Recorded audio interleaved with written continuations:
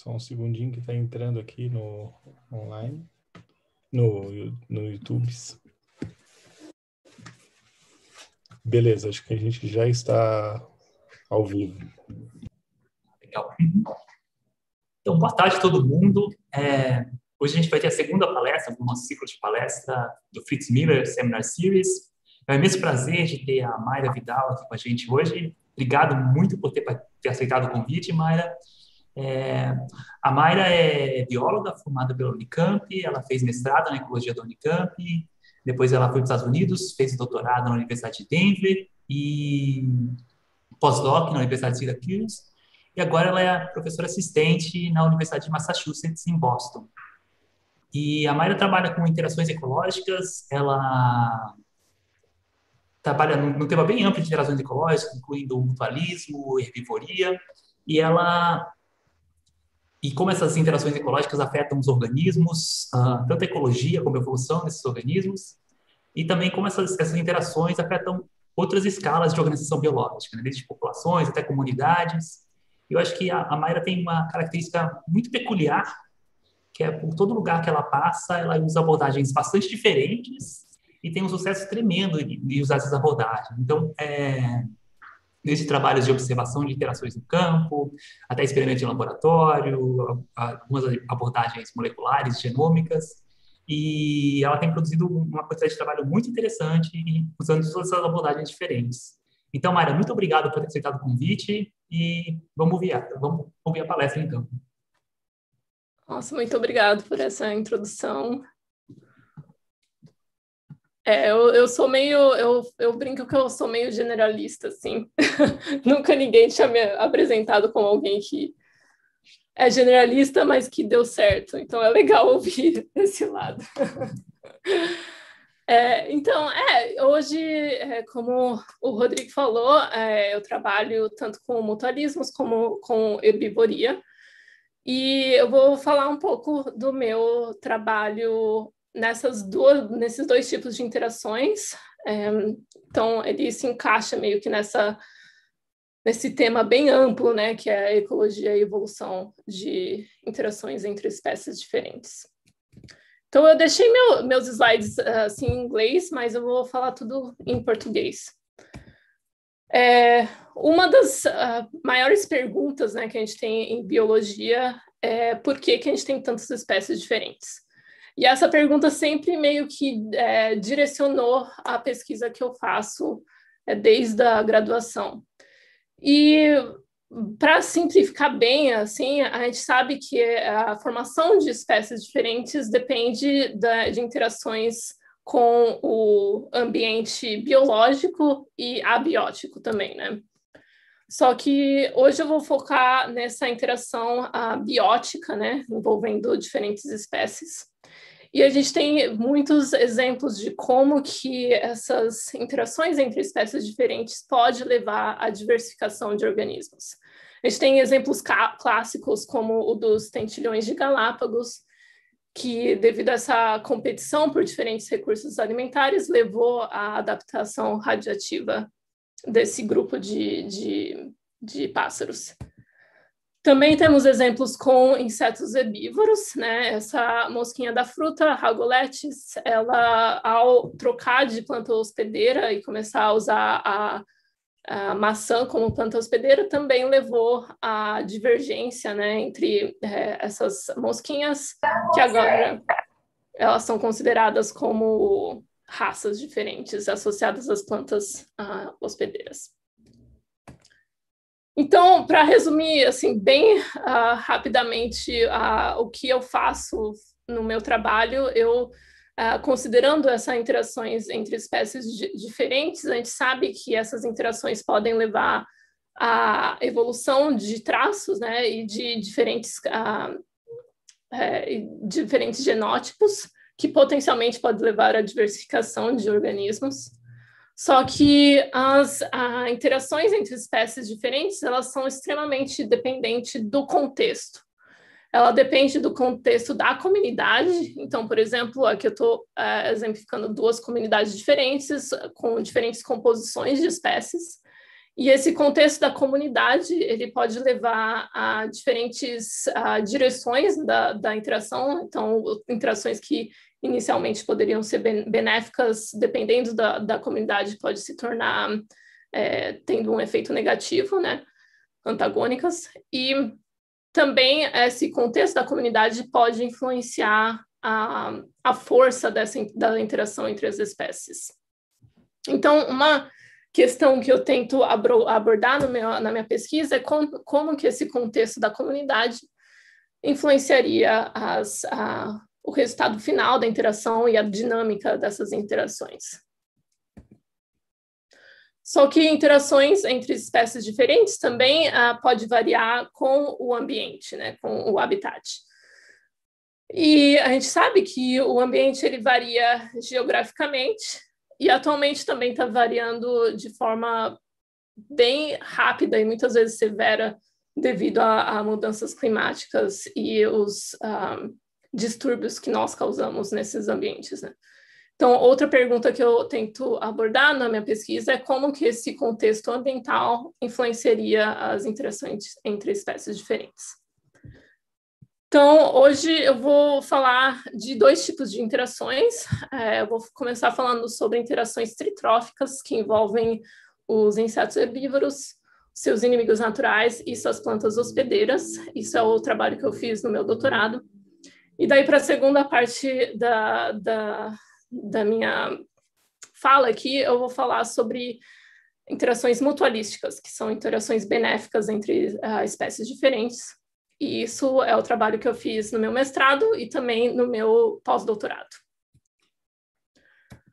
Bom, então começando com as interações uh, tritróficas. É, aqui eu tenho uma meio que a porcentagem de espécies descritas em diferentes grupos de organismos.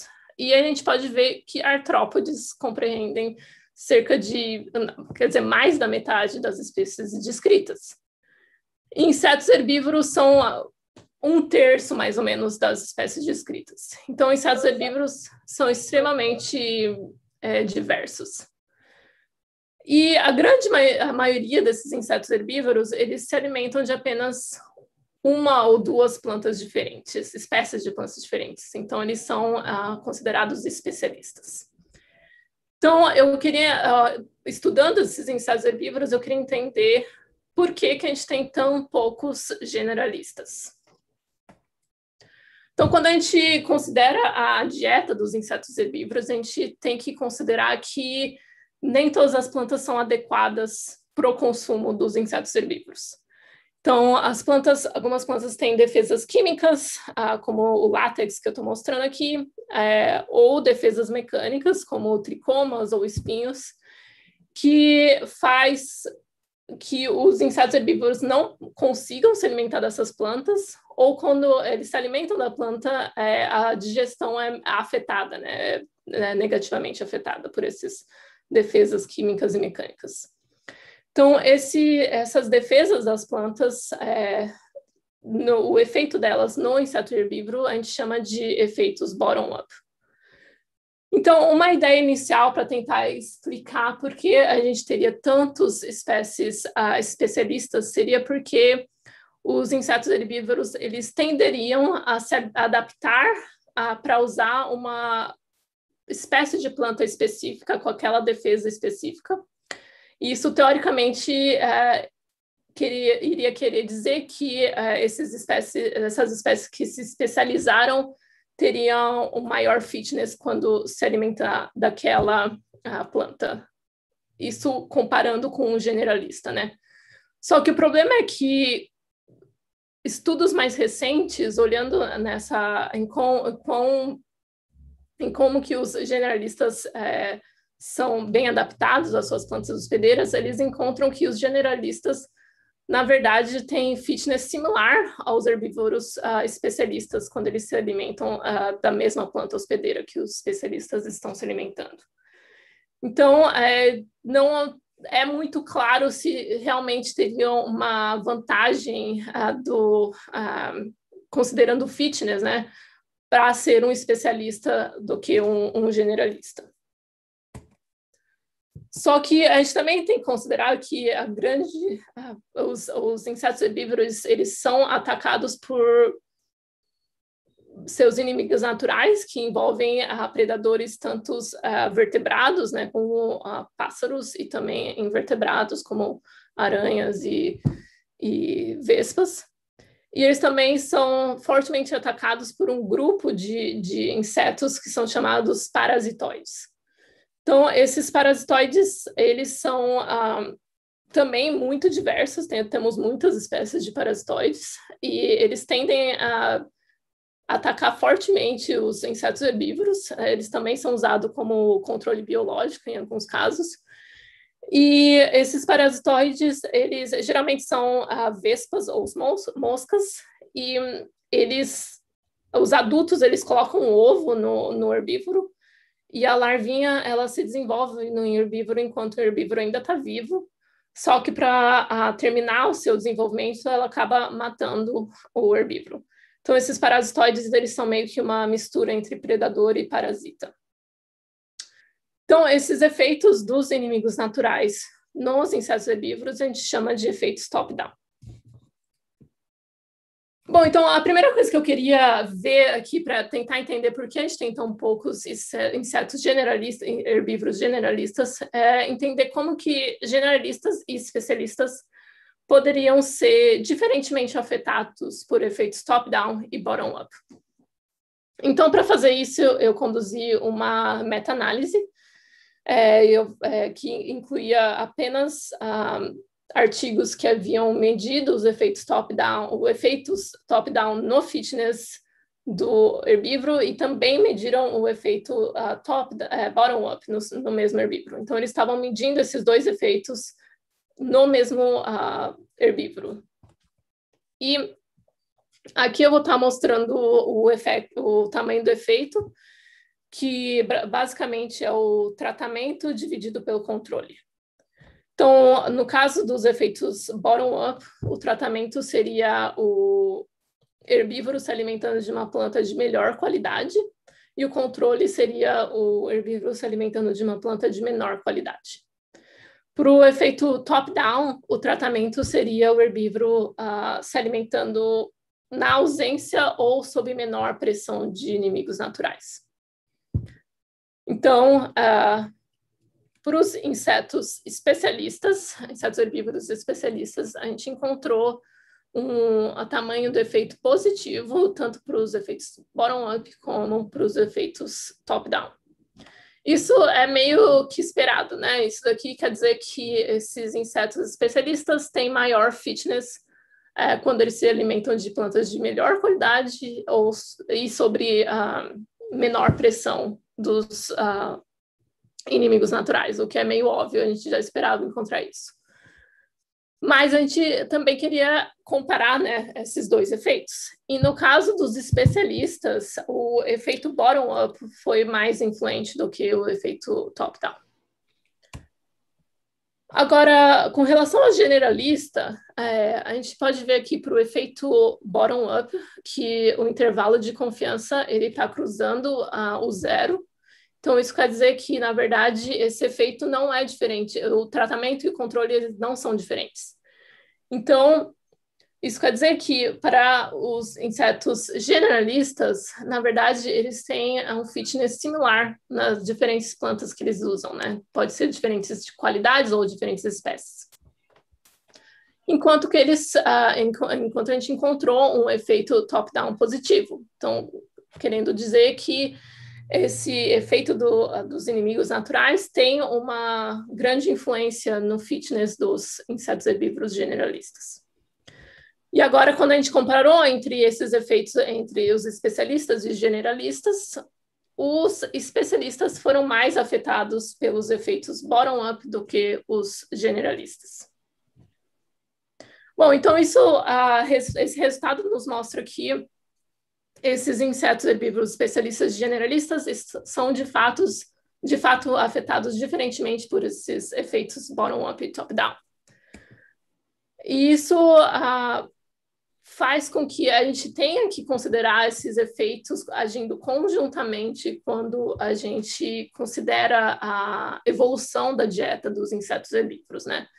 Então, essa ideia de utilizar, de considerar esses efeitos top-down e bottom-up uh, conjuntamente é o que a gente chama de efeito tritrófico, porque envolveria esses três níveis tróficos, né? Então, a planta hospedeira, o inseto herbívoro e os inimigos naturais.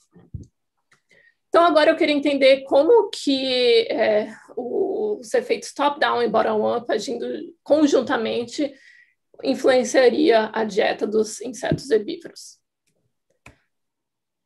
Para fazer isso, eu utilizei esse inseto herbívoro nativo uh, da América do Norte, que se chama fall webworm, que seria é, verme da teia do outono.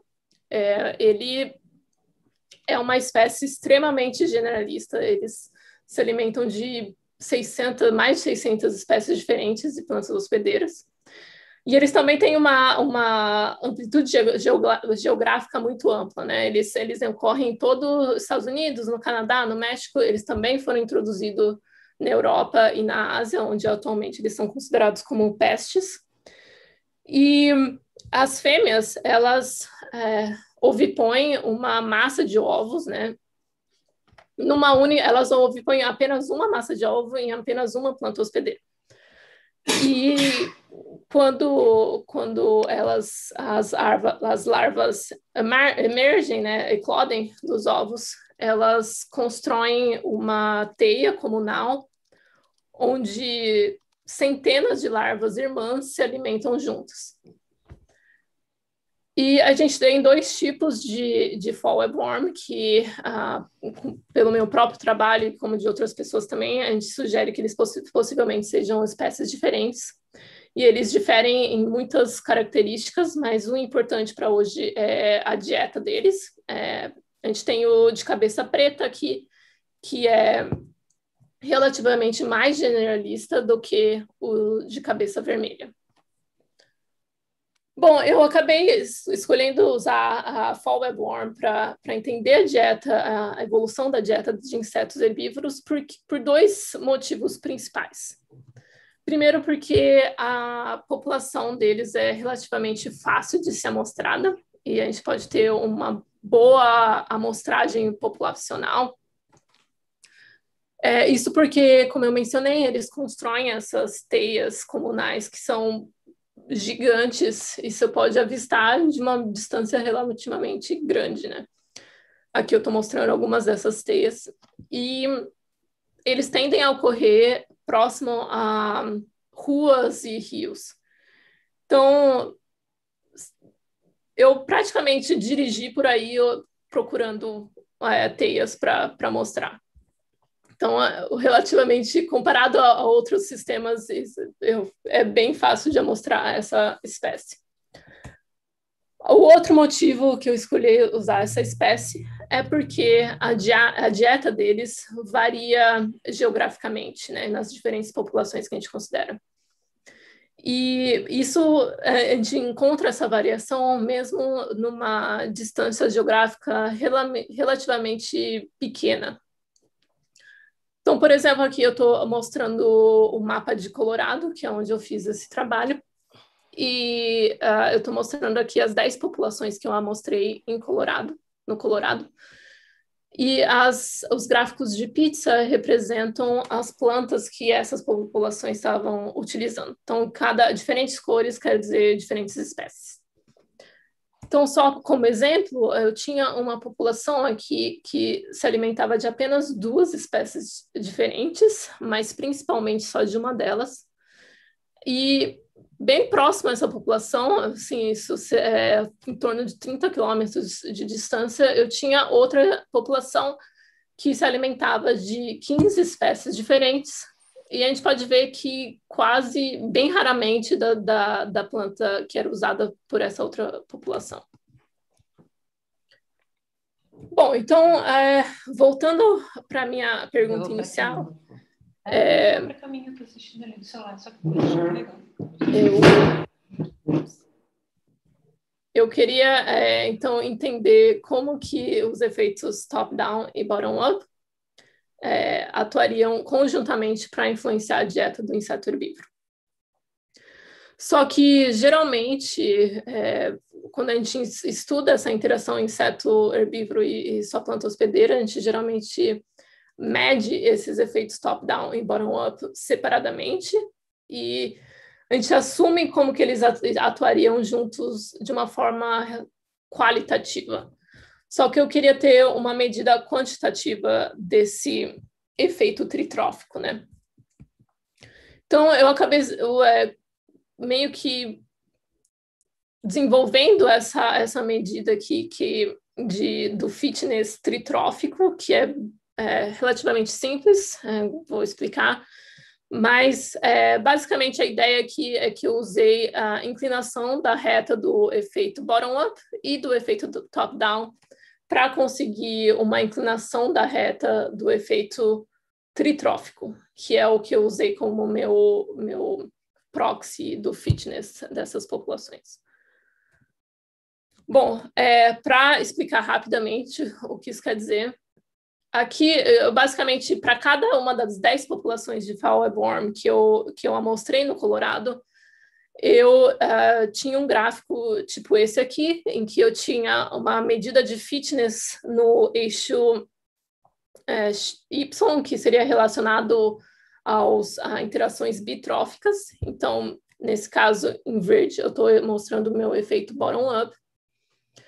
Então, essa medida de fitness poderia ser uma medida relacionada ao efeito bottom-up, por exemplo, o, a massa da pulpa. Geralmente a gente sabe que quando plantas de melhor, eh, em plantas de melhores, melhor qualidade, os insetos herbívoros geralmente têm maior a massa da pulpa. E, e também tem maior fecundidade, então é uma boa medida do, de fitness dos herbívoros também. E no eixo X eu tinha uma medida do uso da, da planta hospedeira. Nesse caso, para o fall worm, eu usei frequência do uso da planta hospedeira, que era uma medida é, contínua, né? Então, aqui eu estou mostrando um exemplo de, um, de uma inclinação da reta do efeito bottom-up positiva.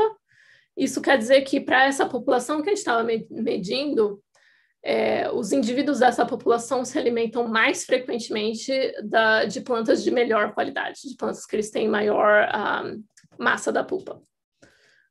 Eu faria o mesmo com o meu efeito top-down. É, nesse caso, minha medida de fitness seria relacionado ao efeito top-down, que poderia ser a porcentagem de, de indivíduos que escapam a ataques por inimigos naturais. E nesse caso, eu estou mostrando uma inclinação negativa. Isso quer dizer que para essa população, é, os indivíduos dessa população se alimentam mais frequentemente das plantas que, na verdade, eles sofrem mais ataques, menos uh, indivíduos conseguem escapar ataque.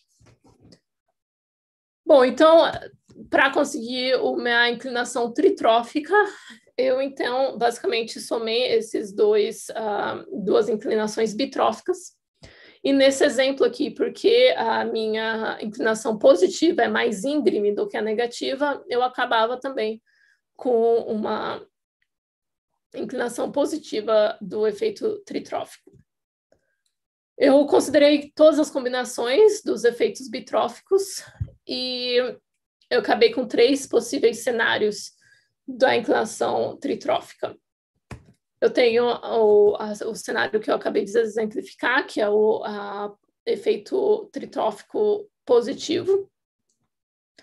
É, isso quer dizer que quando a gente considera tanto os efeitos top-down e bottom-up agindo conjuntamente, os indivíduos dessa população estão bem adaptados para se alimentar das suas uh, plantas hospedeiras que eles usam mais frequentemente.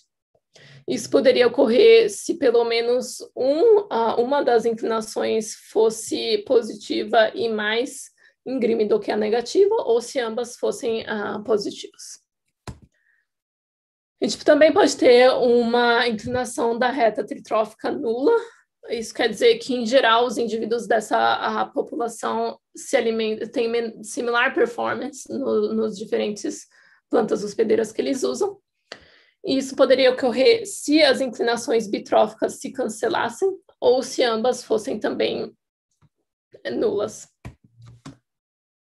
E, por fim, a gente podia ter uma inclinação da reta tritrófica negativa. É, isso quer dizer que, quando a gente considera os efeitos top-down e bottom-up conjuntamente, na verdade, os indivíduos dessa população é, têm menor fitness nas plantas hospedeiras que eles usam mais frequentemente. Então, eles são mal adaptados uh, para se alimentar das suas plantas hospedeiras.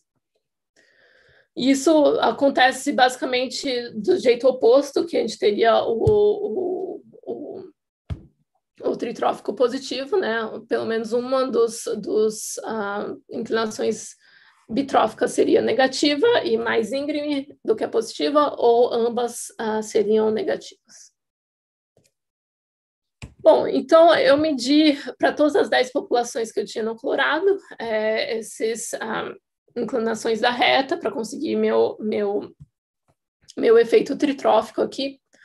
E eu correlacionei isso com a dieta dessas populações. Então, no eixo X, eu estou mostrando a amplitude da dieta, que valores mais próximos de zero quer dizer que essas populações se alimentam de menos uh, plant plantas hospedeiras. Então, elas são relativamente mais generalistas, mais especialistas, quer dizer. Bom, então eu encontrei seis populações com a, é, o efeito, a inclinação da reta tritrófica positiva, uma com a inclinação nula e três com inclinação negativa.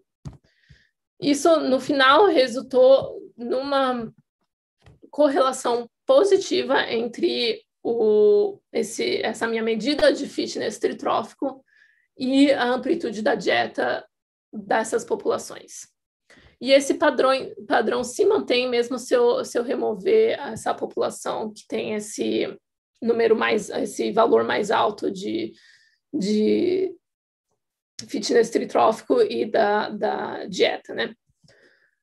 Então, isso quer dizer que populações com uma dieta mais ampla, que são mais generalistas, se alimentam mais frequentemente das melhores plantas hospedeiras. Isso sugere que, para uma espécie generalista, como o fall webworm que eu estudei, ser generalista no nível da população parece ser uma estratégia vantajosa. Então, isso vai em oposto ao que a gente esperaria inicialmente, né, de, do especialismo ser uma estratégia vantajosa. Na verdade, eu estou encontrando o oposto nesse caso. Então, como é, essa não, não, não parece ter necessariamente uma vantagem em ser é, especialista, eu decidi então olhar na possivelmente na, na diversificação, é, o, que, o que fatores que podem levar à diversificação dos insetos generalistas. Potencialmente, a gente teria mais especialistas do que generalistas, porque hum, talvez os especialistas as diversificam mais rapidamente ou mais frequentemente do que os generalistas.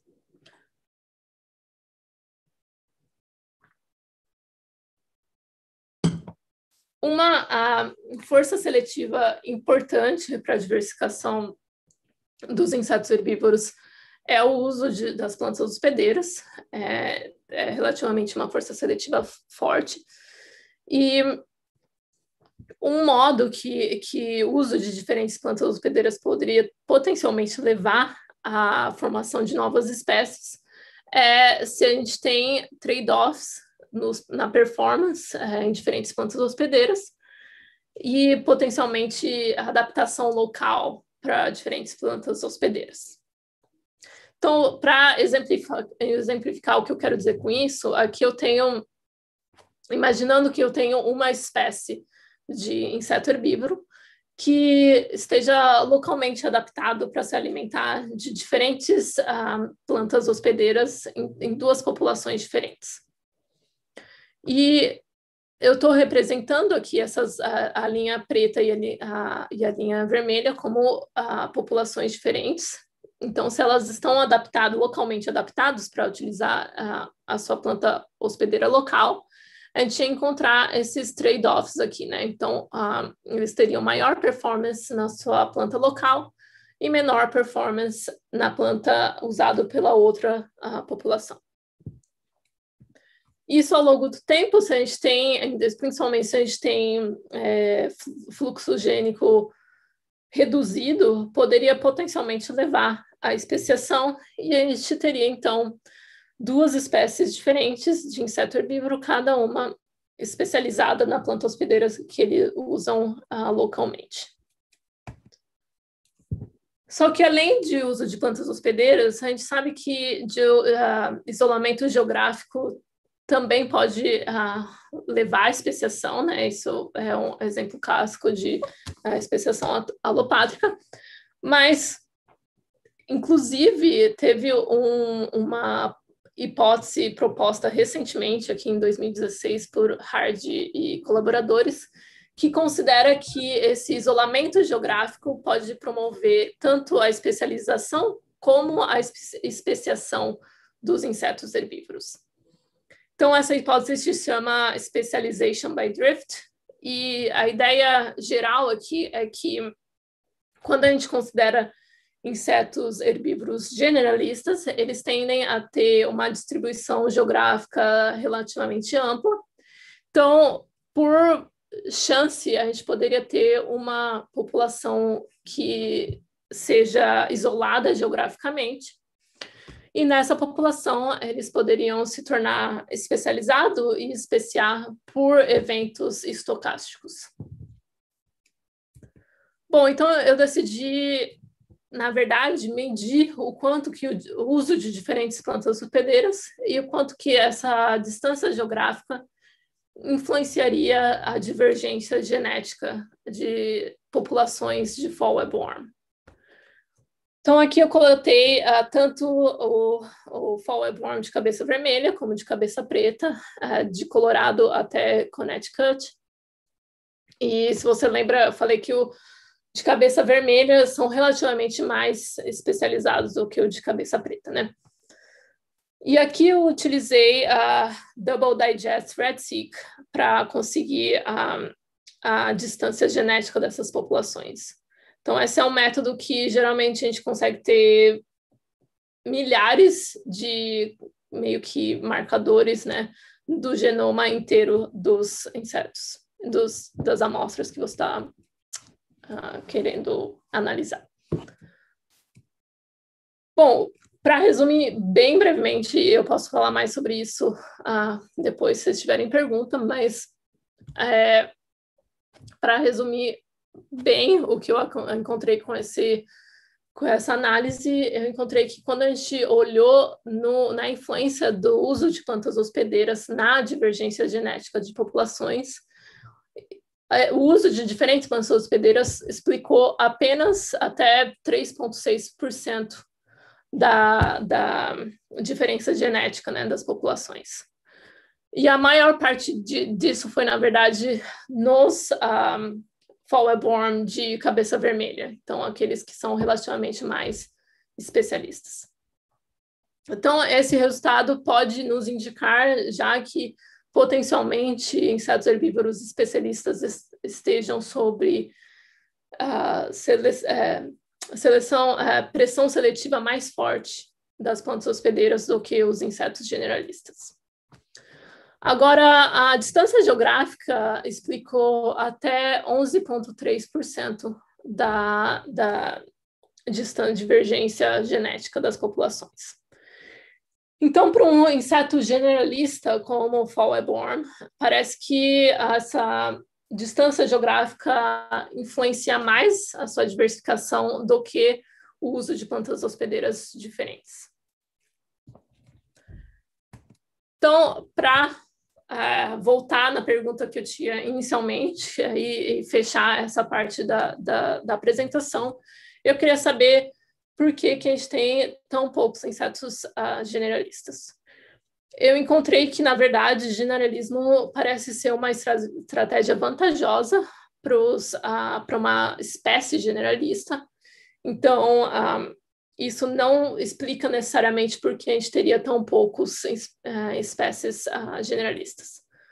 Porém, possivelmente os uh, especialistas estariam sobre seleção, pressão seletiva mais forte das plantas hospedeiras.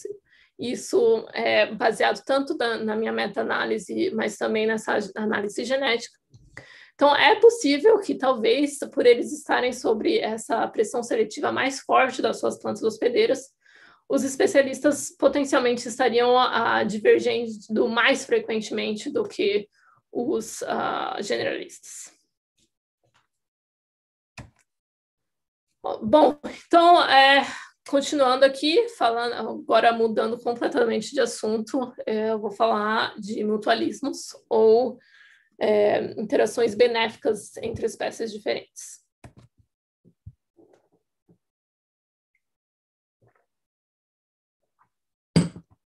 Bom, então, é, mutualismos, eles estão presentes em praticamente todo o ecossistema, e eles são essenciais para o funcionamento de ecossistemas, né? Se a gente pensa especialmente em ecossistemas terrestres, a produção primária pelas planta, plantas muitas vezes depende de, de, da, da, de interações com animais, né, para a reprodução das plantas.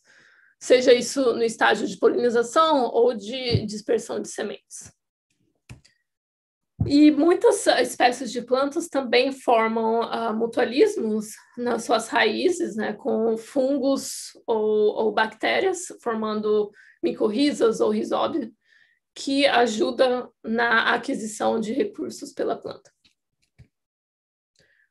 Mas praticamente todo mutualismo tem que lidar com uh, espécies ou indivíduos que utilizam os recursos trocados na interação mas não dão nada em troca. Então, esses indivíduos ou espécies são chamados exploradores. E, como exemplo, aqui, é, muitos sistemas de polinização, a gente pode ter animais que roubam o néctar da flor sem transportar pólen de uma planta para outra. E no mutualismo, né, na, na, interação das plantas com rizóbia uh, ou micorriza, tanto a planta como o fungo pode eventualmente se tornar parasita dependendo do contexto. Então, é, eu vou dar um exemplo aqui usando o meu trabalho do mestrado, é, como que exploradores podem ter potencialmente um efeito negativo no mutualismo. Quando eu estava fazendo minha graduação é, na Unicamp, eu me, entrei no lab do, do Paulo Oliveira e eu estava ajudando, uh, na época, acho que era um aluno de mestrado ou doutorado, não lembro, o Seba estava fazendo, trabalhando com o Paulo no Cerrado, né, num, num fragmento de Cerrado em Tirapina. E o Cerrado, ele é único em, em muitas formas diferentes, mas para quem estuda mutualismo entre formiga e planta, ele é bem importante porque a gente tem uma grande abundância de plantas uh, no cerrado que possuem nectários extraflorais. Então, esses nectários extraflorais, que é o que eu estou mostrando nessa foto da qualia grandiflora, eles uh, são glândulas que produzem néctar, mas não estão associados com a reprodução da, da planta. Então, esse néctar que é disponível uh, acaba atraindo muitas espécies diferentes de animais. Mas os visitantes mais frequentes geralmente são uh, formigas. E as formigas, por elas tenderem a ser a serem agressivas, elas visitam a planta em busca do, do néctar floral e também acaba atacando herbívoros que estão se alimentando da planta. Então, nesse exemplo, a gente tem um mutualismo em que a planta oferece esse recurso alimentar, que é o néctar extrafloral, e a formiga defende a planta uh, em troca, né? Bom, quando eu estava, quando eu entrei nesse no lab, eu estava ajudando o Sebastião Sendoy a fazer o campo dele lá no Cerrado de Tirapina. E a gente encontrou essa estrutura uh, si, meio que bloqueando os nectários extraflorais de Qualia grandiflora. E essa estrutura era bem pegajosa, assim, então a gente, a gente achou bem estranho isso. E quando a gente abriu essa estrutura, a gente viu que tinha uma larva dentro. Então, essa estrutura que eu estou falando é um, um, abrigo larval. E é, depois de, na verdade, quatro anos tentando descobrir que espécie era essa, é, acabamos descobrindo que é uma espécie de drosofilídeo. E com a ajuda do Carlos Vilela, que é o professor da USP, a gente acabou descrevendo essa nova espécie, é, que o nome acabou sendo Rhinoleucophenga myrmecófaga um nome bem longo. Mas se você notar que eles parecem uma drosófila, né? Essa, não é o mesmo gênero da drosófila, mas tá, é, é um drosofilídeo, né? Da família da drosófila. Mas, enfim, é, os, as fêmeas, elas ovipõem, é, esse é, negócio branquinho aqui é o ovo, elas ovipõem bem próximo ao nectário extrafloral, e quando a larva eclode, ela vai em direção à abertura do néctar extrafloral e ela usa o néctar para construir seu abrigo. Então, o motivo do abrigo ser tão pegajoso é porque a larva usa o, o néctar extrafloral para construir seu abrigo. E essa, esse abrigo ele bloqueia o direto acesso ao, à glândula, mas a glândula continua a produzir o néctar. Então, o néctar acumula dentro da, do abrigo da larva e a larva, então, empurra esse néctar numa das aberturas do abrigo, formando essa gotinha aqui, né? E essa gotinha, ela é atraente para as formigas que estão na planta buscando o néctar extrafloral. Então, as formigas, quando elas interagem com a larva e potencialmente com o abrigo da larva, elas podem acabar presas a esse abrigo da larva, porque o abrigo é muito pegajoso. Então, essa formiga que ela acabou de ficar presa ao abrigo da larva, e a sua companheira está tentando uh, soltar ela, mas muitas vezes as formigas não conseguem se soltar e elas acabam morrendo presas ao abrigo da larva. E quando isso acontece, a larva então abre o exoesqueleto da, da formiga e se alimenta do conteúdo interno. Então, é, a gente tem aqui um exemplo de um explorador que utiliza o néctar extrafloral para atrair a sua presa e para prender a sua presa, e também está se alimentando dos protetores da planta. Então, eu queria entender como que esse explorador influencia o mutualismo entre formiga e planta. Então, aqui eu, me, eu contei o número de formigas é, ao longo do tempo, em plantas com a larva né, em vermelho e plantas sem a larva em azul. E eu encontrei que ao longo do tempo, plantas com a, essa larva predadora de, de formigas tinha menos formigas do que em plantas sem a larva. Isso acabou tendo um efeito no nível trófico uh, mais baixo, né? Então, quando eu olhei, é, contei o número de herbívoros mastigadores ao longo do tempo, encontrei que em plantas com essa larva e com menos formigas protegendo a planta, a gente tinha mais insetos mastigadores. Isso eventualmente acabou tendo um, efeito negativo para a planta também. Então, com, em plantas com a larvinha, é, com menos formiga é, patrulhando a planta e com mais insetos herbívoros mastigadores, a gente acabava tendo também maior herbivoria na planta. Então, esse é um exemplo de como que exploradores podem afetar negativamente o mutualismo, e nesse caso, é, afetou negativamente por alterar a abundância de diferentes níveis tróficos ah, associados a, nesse mutualismo. Então, eu queria entender como que mutualismos conseguem persistir com exploração. Bom, uma coisa que a gente tem que considerar é que muitas vezes mutualismos tendem a ser bem diversos né, em número de espécies. Então, por exemplo, no mutualismo entre coalha e formigas, eu encontrei mais de 20 espécies diferentes de formiga visitando a planta. E a gente sabe que essas formigas também visitam outras espécies de plantas. Em muitos uh, sistemas de polinização, a gente também tem uh, diferentes espécies de polinizadores interagindo com diferentes espécies de plantas. E essa riqueza né, de espécies em mutualismos potencialmente pode ajudar na persistência de mutualismos.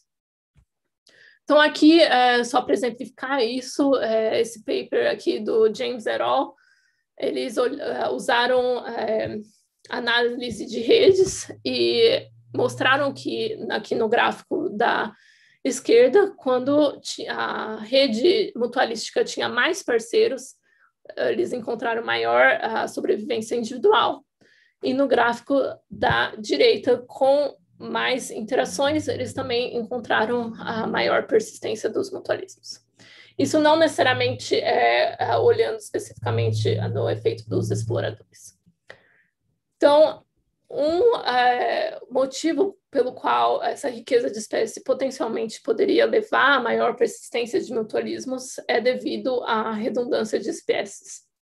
Então, essa redundância funcional de espécies aqui eu considero como uma comunidade que tem diferentes um, eh, espécies que provém é, função similar para a comunidade. Então, por exemplo, eu posso ter duas espécies de formigas diferentes que uh, provém uh, serviço de proteção similar para a planta. Então, se eu perder uma dessas espécies, a planta, a outra pode assumir seu papel e a planta não necessariamente sentiria falta de uma das suas parceiras. Bom, então até agora eu estou falando de bastante trabalho que eu fiz em campo, é, mas eu também queria ter um sistema de laboratório em que eu pudesse manipular diferentes fatores, ter muitas replicação, muita replicação e também ter diferentes gerações em curto período de tempo. Então, para o meu pós-doutorado, eu é, me juntei ao, ao, lab da Carrie Seagraves, em Syracuse, para usar esse sistema de mutualismo de levedura. Então, aqui a gente modificou geneticamente uh, diferentes linhagens de levedura para produzir mais ou menos os diferentes recursos que elas precisam. Então, elas formam um mutualismo nutricional. nutricional. A gente tinha o um mutualista que produzia mais adenina, então o excesso é liberado no meio, e não produzia lisina. E um outro mutualista que produzia mais lisina do que precisava, então o excesso é liberado no meio, e não produzia adenina. Então, eles estão trocando lisina e adenina que eles precisam. A gente também tinha diferentes tipos de exploradores. A gente tinha o explorador de adenina, que produz lisina apenas para si mesmo, então não está contribuindo para o mutualismo. E ele não produz adenina, então está competindo por adenina com o mutualista produtor de lisina.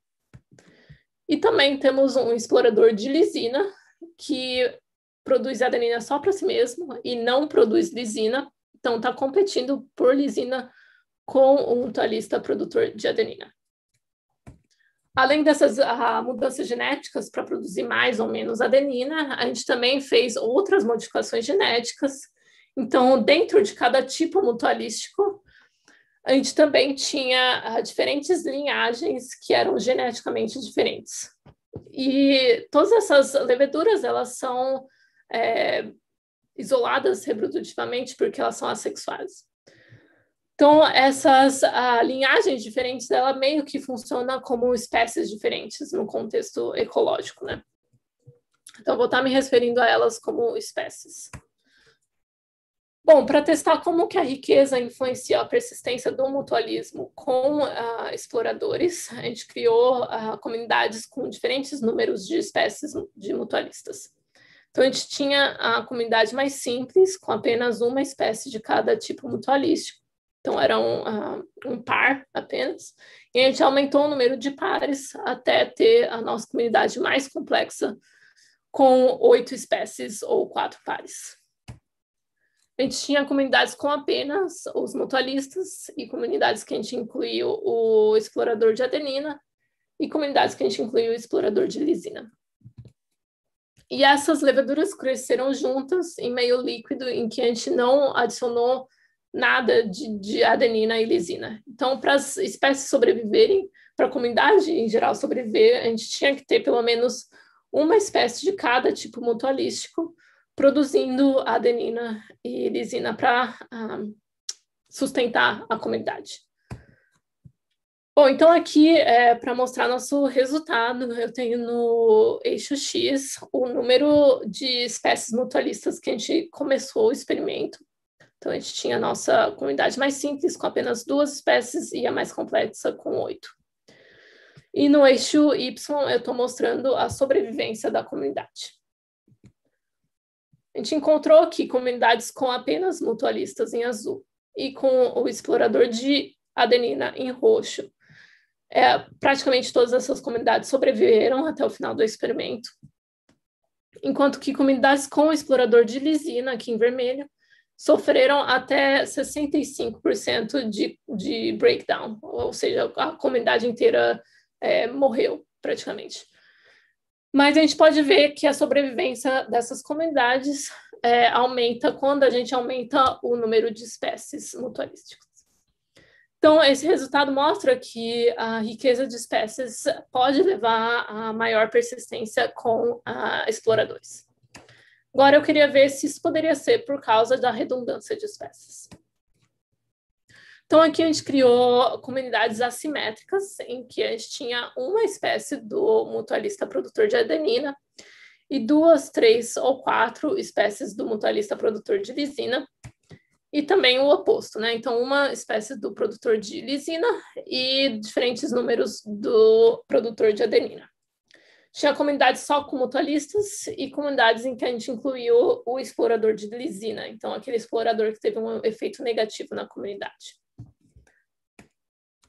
Bom, agora esse uh, gráfico é exatamente o mesmo que eu mostrei antes, né? Tem o número de espécies no eixo uh, X e a sobrevivência da comunidade no eixo Y.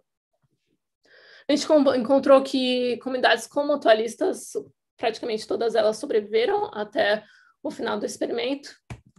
Comunidades que a gente tinha o explorador de lisina e apenas uma espécie do mutualista produtor de adenina, então o mutualista que está competindo com o explorador, e diferentes números de espécies do produtor de lisina a gente encontrou que essas uh, comunidades, apenas uh, mais ou menos metade delas uh, sobreviveram ao longo do experimento. E a gente pode ver que a sobrevivência dessas comunidades não está aumentando quando a gente aumenta o número de espécies do produtor de, de lisina. Agora, para o outro tipo de comunidade, em que a gente tinha ainda o explorador aqui de lisina, apenas um uma espécie do, do mutualista produtor de lisina, mas agora aumentando o número de espécies redundantes do produtor de adenina, agora a gente está vendo que a sobrevivência dessas comunidades aumenta. Então, esse resultado mostra que a riqueza de espécies por si só pode não necessariamente levar a maior sobrevivência, a gente vê esse resultado aqui nessas comunidades em vermelho claro. Porém, é, a redundância e a riqueza do mutualista que está competindo diretamente com o explorador, que pode levar a maior persistência dessas comunidades. Bom, então, considerando que muitas vezes a gente tem mutualismos que tendem a ser bem diversos, potencialmente com espécies redundantes, é, esses mutualismos poderiam estar inerentemente é, resistentes aos efeitos da exploração. E é, isso, um,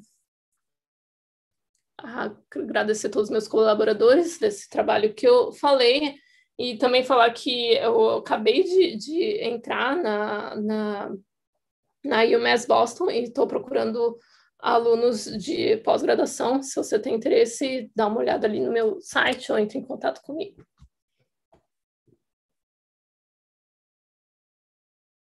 É isso.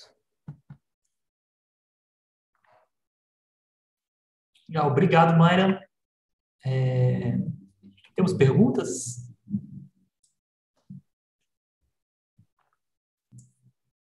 Eu tenho. Pode fazer, tá? Bom, Maíra, muito obrigado pela, pela palestra. Eu gostei muito da história que você contou, principalmente da, da larvinha que, que usa o néctar para atrair as formigas. Já fiquei imaginando um documentário sobre isso. Mas eu eu fiquei pensando na história do, dos especialistas e generalistas. Uhum. E a minha pergunta é se você se vocês se você teria uma hipótese que o estado ancestral dos insetos seria especialista. Então, tem algumas, uh, tem algumas hipóteses propostas né, para explicar a, essa evolução da dieta né, dos, dos insetos herbívoros. E tinha até um debate sobre se, se ser uh, especialista seria um dead end, né? E se, se você poderia se tornar especialista e eventualmente retornar a ser generalista. E depois algumas pessoas uh, mostraram que, de fato, você pode se tornar é, especialista e voltar e eventualmente evoluir para ser generalista de novo. Então, essa não, na verdade, não existe um, um dead end né, em ser especialista. Tem uma hipótese que se, se chama serial specialization, eu acho, que é do Stireman. É, ele propõe isso especialmente para parasitoides, mas algumas pessoas uh, consideraram para insetos herbívoros também. E a ideia é que o ancestral era generalista, e daí meio que criou linhagens especialistas.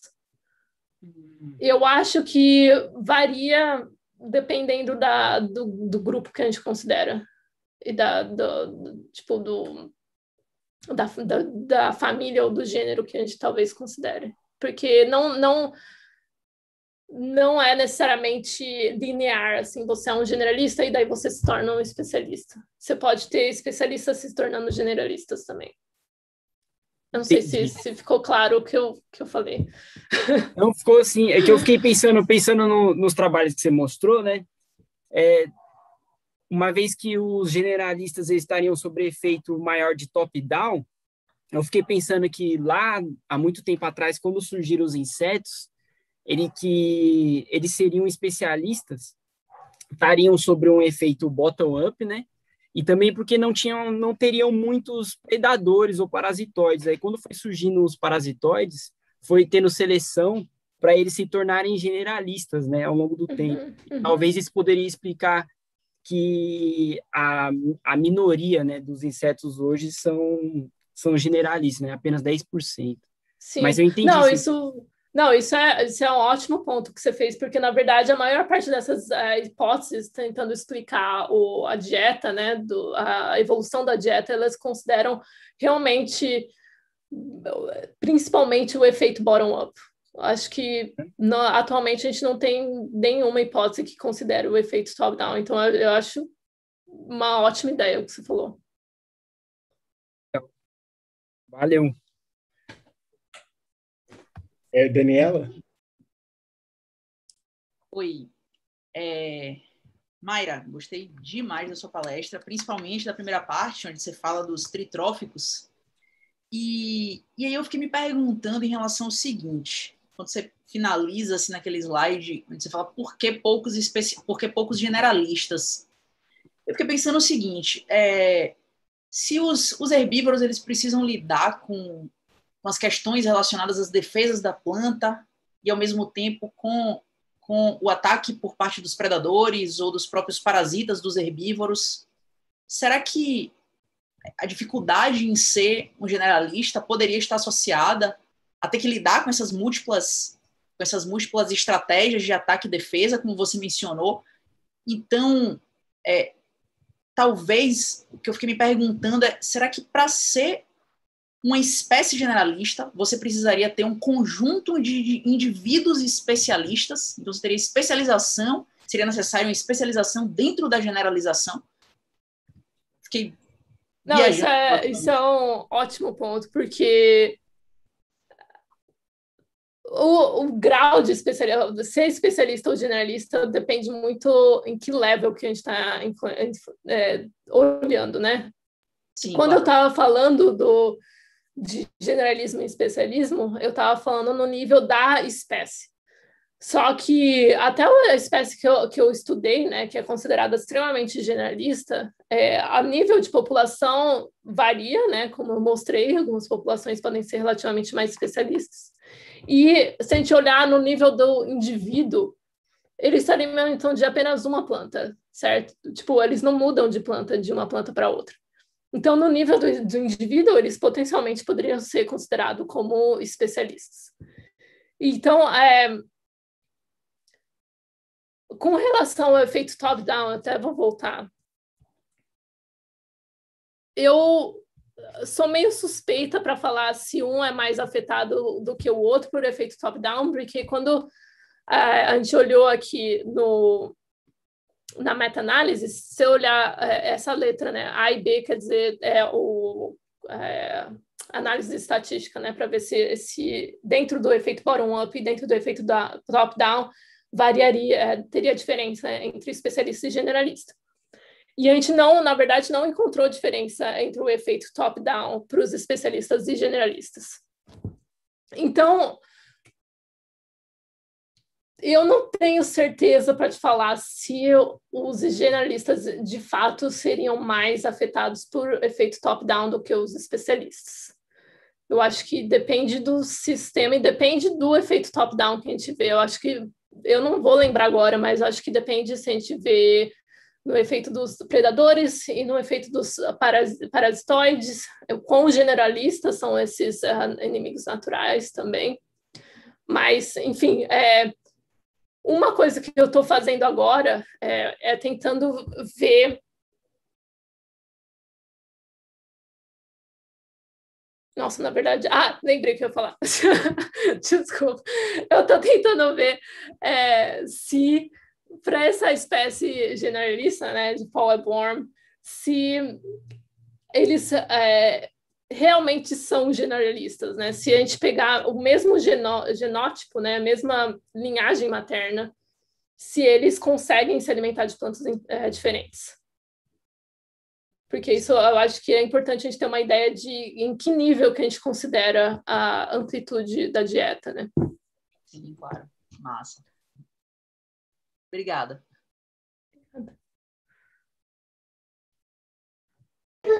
É, Camila? Oi, Maíra, obrigada pela palestra, adorei, achei super uh, didático, foi bom de te ouvir e de escutar toda, toda a palestra. Uh, a minha dúvida é justamente sobre o top-down e bottom-up, ainda bem que você voltou ali nesse slide, Uh, eu não sei se eu me perdi um pouquinho nessa parte, mas eu queria tentar entender melhor como que vocês avaliaram esse, como vocês mediram o efeito top-down e bottom-up, e se você e se é, tem algum tipo de índice específico ou mais de um índice, se é feito por índices, né? Esse, uh, essa avaliação. Eu não entendi muito bem uh, como que foi feita essa parte. Não sei se você poderia Sim. explicar melhor. Sim, então, é, o efeito bottom-up, top-down, eles, uh, historicamente, né, quando a gente pensa no, no, nos estudos feitos com inseto herbívoro, historicamente eles são considerados como efeitos da planta hospedeira na, como controle populacional dos insetos herbívoros. E o efeito top-down como controle populacional dos insetos herbívoros. E por, assim, alguns anos tinha um debate de qual que é mais importante do que o uhum. outro para controlar a população dos insetos herbívoros. Mas, enfim, eu não vou nesse ponto. Mas é, aqui o que eu estava considerando era o efeito da planta hospedeira no fitness do inseto herbívoro. Então, não, não apenas na, na população, né, mas no, em algumas medidas de fitness, que poderia ser é, a massa da pulpa, que é uma, uma medida de fitness que é usado frequentemente em insetos herbívoros, que geralmente estão relacionados à, à qualidade da planta hospedeira. Então, basicamente, você tem experimentos em que você ou está alimentando diferentes espécies da planta hospedeira, ou plantas que têm mais ou menos de, de é, quantidade de, de, defesa química, né? Então, é, esse, essa medida que eu estou mostrando aqui para o efeito bottom-up é considerando como que a, a, o fitness, considerando a qualidade da planta hospedeira, varia em plantas hospedeiras de diferentes qualidades. Então, é, nesse caso aqui, é um, é um tamanho do efeito, né? Imaginando você dividir um valor pelo outro. Então, o, nesse caso, eu tive que meio que parametrizar, usar o mesmo tipo de tratamento para todos os estudos que eu considerei. Então, o mesmo tratamento que eu usei para todos os estudos era o herbívoro se alimentando numa planta que os autores consideraram como sendo de melhor qualidade. Então, um efeito positivo quer dizer que quando você tem plantas de melhor qualidade e plantas de pior qualidade, o herbívoro tem um fitness maior na planta de melhor qualidade, o que é meio que esperado, né?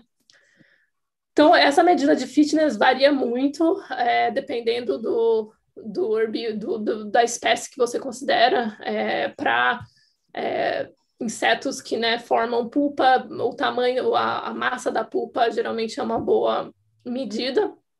A gente pode usar sobrevivência em diferentes plantas hospedeiras, a gente pode usar abundância, principalmente quando a gente trabalha com a, com afídeos, né, que, que é, geralmente eles contam a abundância de, dos indivíduos. Agora, com relação ao efeito top-down, é, muitas vezes o que a gente tem quando a gente testa o efeito top-down, a gente meio que é, ai, coloca uma, uma bag, esqueci o nome, caramba, uma isola assim uma planta para que no, seno, os predadores não vão atacar o, o herbívoro, ah, né? Uhum. Então, a grande maioria das, do, dos, das medidas de efeito top-down considera a sobrevivência é, na ausência né, do, dos inimigos naturais, então nessa planta que está sendo isolada dos, dos predadores e parasitas, e comparado com a, plantas que deixa ao aberto, né, que qualquer um, qualquer um pode atacar os, os insetos herbívoros. Hum. Ah, entendi. Faz ah, sentido? Obrigada. Faz, faz sentido, faz sentido. Entendi. Muito legal, muito obrigada. Obrigada. A Stephanie tem uma pergunta, ela ia escrever aqui. Ela vai escrever, acho que, Mara, você não consegue ver a pergunta, porque tem projeção. Imagina. É, é, muito obrigada pela, pela palestra, gostei muito. Meu microfone não está funcionando, desculpa. Minha pergunta é: o fato de uma espécie ser generalista poderia levar a, ao desenvolvimento de fenótipos mais plásticos? Por exemplo, em aqueles ambientes que estão mudando drasticamente?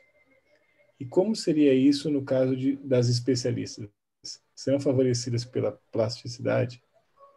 Ah, eu adoro essa pergunta, porque isso é uma coisa que eu estou pensando faz muito tempo.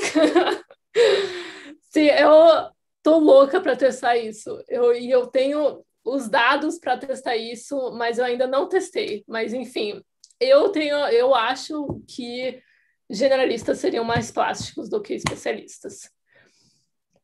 Se de fato eles são, eu não tenho certeza. Uh, tem alguns estudos que sugerem que sim, mas eu não sei o quanto com quantos é, quanto suporte isso tem, né? Quantos estudos a gente tem, na verdade, comparando espécies, é, especialistas generalistas. O problema é que muitas vezes é, é difícil achar uma espécie que você pode comparar, né, especialista e generalista, e é difícil você fazer essa comparação direta entre espécies diferentes nesse caso, é, meta-análises é uma ótima modo né, para você comparar essas perguntas. Mas eu tenho dados com o Fall Born que eu tenho é, meio que essas uh, reaction norms, né, para você ver como que, que potencialmente populações mais especialistas e populações mais generalistas poderiam variar em quão, quão plásticas elas são. Mas eu ainda não analisei esses dados.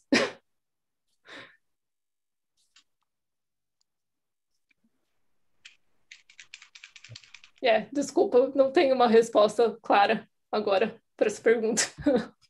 Eu vou fazer um comentário bobo aqui no meio, tá? Essa coisa de variação intrapopulacional, assim, os indivíduos serem obrigados obrigados a serem especialistas na prática, mas não necessariamente o serem, se você oferecer isso em laboratório, isso cria um sistema muito interessante para explorar o problema, né?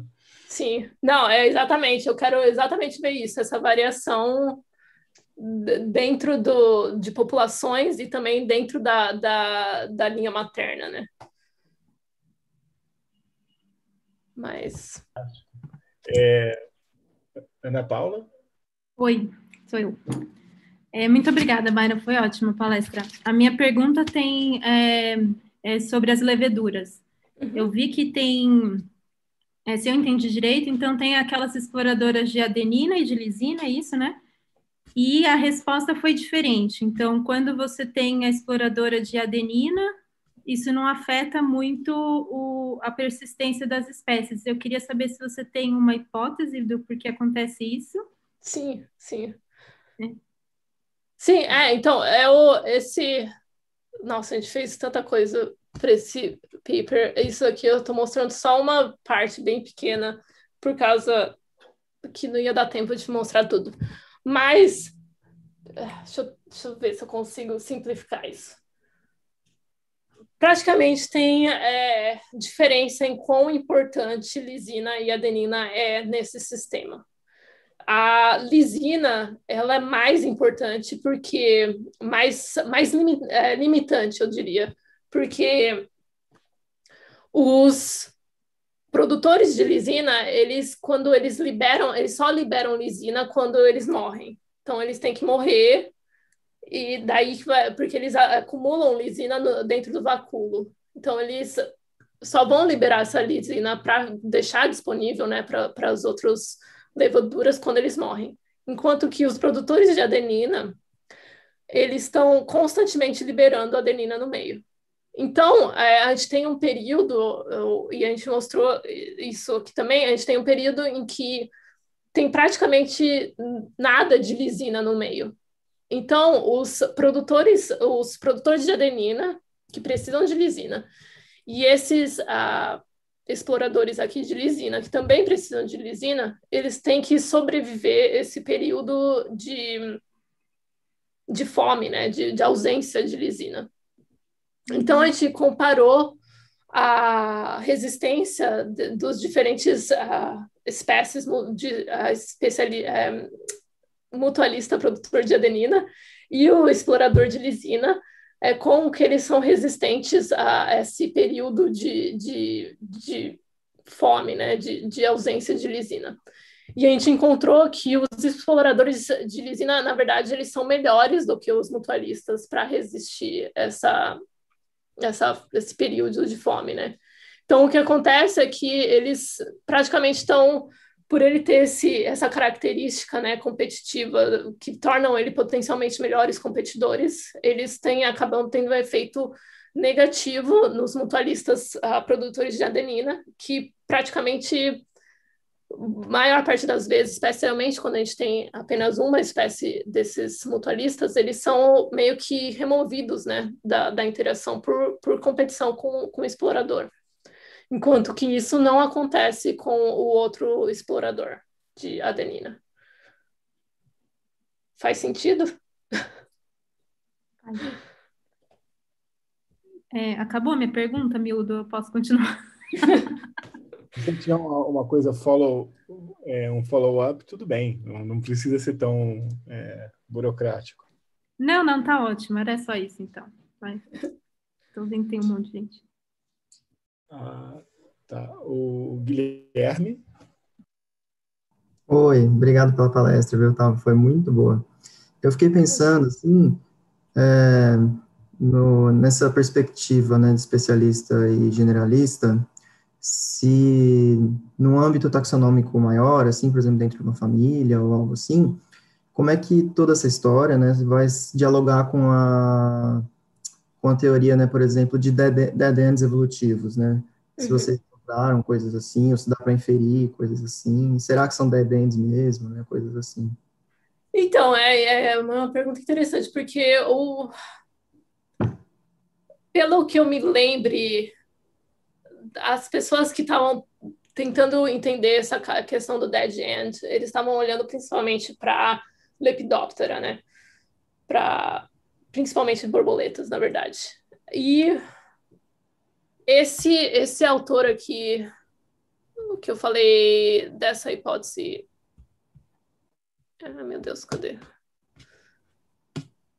Do, do Specialization by Drift, ele trabalha principalmente com, com, com scale insects, com, com os hemípteros. E ele, num outro trabalho dele, é, que não é esse daqui, eles compararam, na verdade, Lepidoptera e Hemíptero. Mas eu não vou lembrar que, que eles acharam. Ai, meu Deus. Nossa, não vou lembrar, desculpa. É, eu também não vou porque teoria tem coisa de bivalve, então não vou saber nada disso. É, mas enfim, mas eles acharam diferença. Eu não lembro agora o que, que era a diferença, mas eles acharam diferente, diferença nessas duas ordens, né? Então, eu diria que potencialmente vai ter diferença é, em níveis taxonômicos mais altos. Mas eu não vou saber dizer exatamente qual que é essa diferença nesse momento. Só fazer uma, um comentário em relação a Evolutionary Dead Ends, que se a gente olha num, numa perspectiva macroevolutiva, filogenética, a gente vê que não é incomum o retorno de uma linhagem especialista para uma linhagem mais generalista. Então, nesse sentido, é, a gente tem vários contra-exemplos de que você se especializar não tem como voltar atrás, digamos assim, só, só nesse sentido, só para acrescentar, inclu, incluindo vários exemplos com insetos herbívoros. Muito obrigado. Sim, obrigada.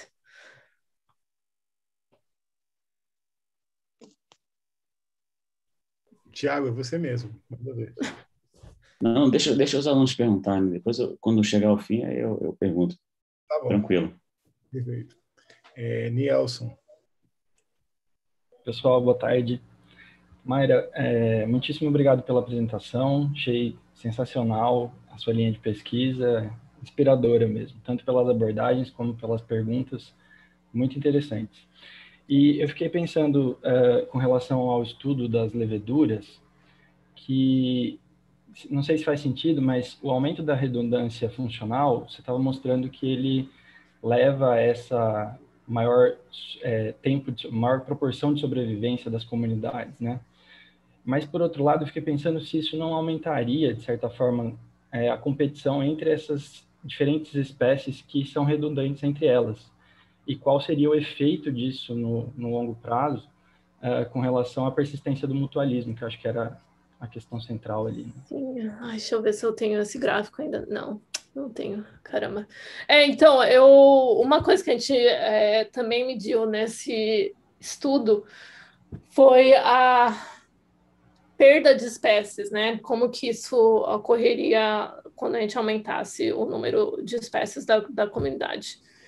E a gente encontrou que quando a gente aumenta o número de espécies, a gente também aumenta a perda de espécies nessa comunidade.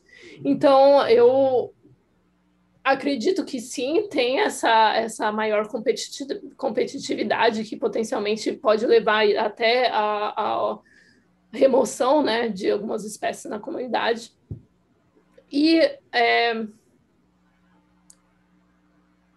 uma coisa que a gente estava vendo, nossa, eu estava eh, tendo uma reunião exatamente discutindo isso 10 minutos antes de, de, desse seminário, a gente está vendo agora como que competição na comunidade pode levar à evolução de potencialmente levar à evolução de exploradores, né, dentro do mutualismo. Então, nossa ideia era que quando você tem mais espécies redundantes no, numa comunidade, potencialmente a gente já tem uma espécie que poderia se tornar, evoluir para se tornar um explorador. Então, por exemplo, nessa comunidade aqui que eu tenho quatro uh, mutualistas produtores de adenina, potencialmente uma dessas espécies poderia se tornar um explorador para uh, por reduzir, né, muito o quanto que eles estão produzindo de adenina para a comunidade. E a gente pode testar isso, e a gente está testando isso agora, porque a gente pode simplesmente testar o como que a produção de adenina evoluiu a depois desse período que a gente manteve o experimento, né? O que a gente está encontrando é que a evolução desses, desse, dessa característica mutualística, ela varia muito dependendo do, do genótipo do, da levedura que a gente considera.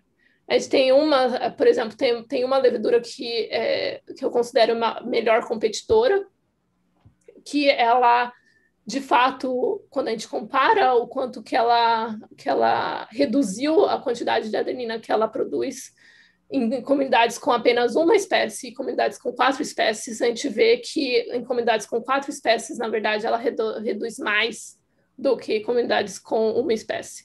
Então, isso já mostra que esse contexto da comunidade tem um efeito na evolução dessas características associadas ao mutualismo. Só que isso não é, a gente não encontra o mesmo padrão em todas as leveduras que a gente compara. Então, quando a gente estava olhando uma levedura que eu considero como é, um competidor mais fraco, na verdade, não tem diferença em quanto que elas reduzem o, o quanto que ela produz nessas diferentes comunidades. Então, para resumir, sim, eu acho que influencia muito o mutualismo. é super interessante porque fiquei pensando que de repente se houvesse um sistema um tipo de competição aparente para de certa forma atenuar a competição entre essas espécies com um nicho mais parecido, talvez isso de certa forma favoreceria ainda mais a persistência do mutualismo, né? Seria um equilíbrio de repente entre manter a redundância e diminuir a competição e por consequência uma persistência mais provável do mutualismo.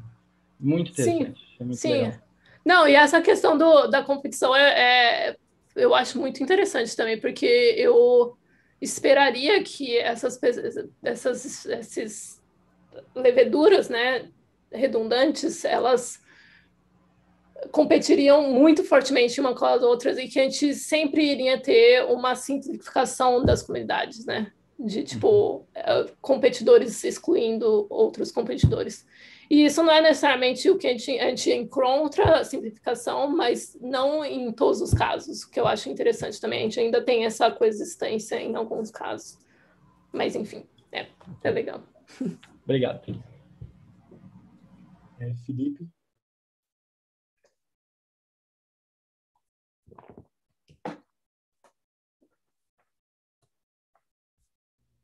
Oi, sou eu agora? Sim. Ah, então tá bom, eu estava digitando um e-mail aqui para a professora, mas eu acho que aqui fica mais rápido, então. É, professora Mayra, eu sou de uma área um pouquinho diferente, né? Eu sou da computação, mas eu comecei a trabalhar no meu mestrado com modelagem de dados de interações ecológicas, né? Uhum. E a intenção é continuar com essa pesquisa agora no doutorado e propor um modelo semântico para descrever dados de interações. E aí, a minha curiosidade é só para saber como que o seu laboratório publica esses dados, se já existe toda uma estratégia de automação e se existe também interesse em trabalhar com os dados dessa maneira. Você diz os dados em geral, assim, que eu, que eu coleto, se de...